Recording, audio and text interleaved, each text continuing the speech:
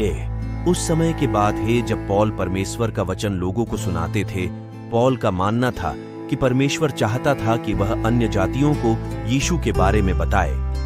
इसलिए उन्होंने सीरिया, तुर्की और ग्रीस की तीन यात्राएँ की। बहुत से लोगों ने यीशु पर विश्वास किया और बहुत से चर्च शुरू हुए।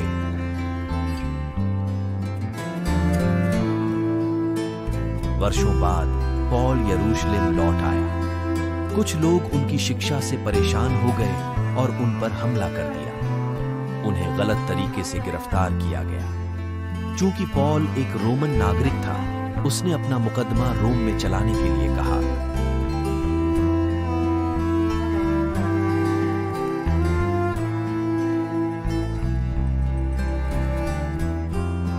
पॉल को रोम की ओर जाने वाली एक नाव पर बिठाया गया।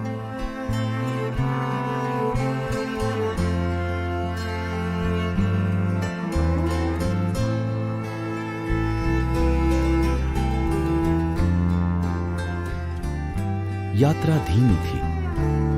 पॉल ने सुझाव दिया, आइए, तूफानी मौसम खत्म होने तक क्रेते में प्रतीक्षा करें।